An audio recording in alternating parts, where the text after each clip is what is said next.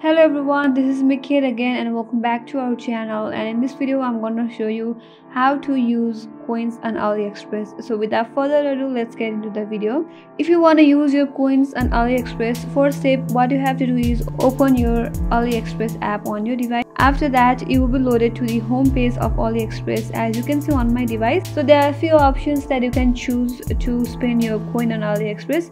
So go to your account section by tapping on the account icon at the bottom side of your screen at the right hand side. Tap on there and you will see coins are used for discounts options there. So you can use your coin to earn discount on different product. Uh, so you can use your coin to get discount on different product but it depends upon the product that you are gonna buy. The discount option may not be available for each product so make sure that uh, the products have discounts on them. So you can just simply tap on that and uh, you will see coin used for discount option tap on there and you will be directed to the next page. Can earn more coins by daily check-in and earn different discount. So you can just select the product that you want to buy with this discount. Suppose i'm going with this and you can see that it says 50 percent off so you can use your uh, coins to get discount on this product. And the next thing you want to try is that you will get a discount when you uh, check out for any product that you want. Suppose